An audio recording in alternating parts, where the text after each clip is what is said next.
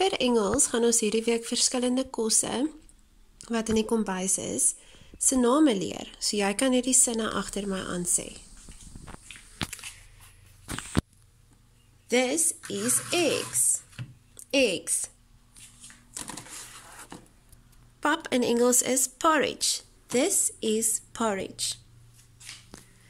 This is bread. This is milk. Konfyt in Engels is jam, so this is jam. My konfyt is amper op. This is butter.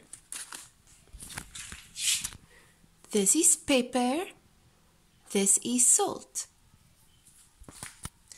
Kaas in Engels is cheese. This is cheese. Spek in Engels is bacon. This is bacon. This is coffee. This is sugar. This is tea.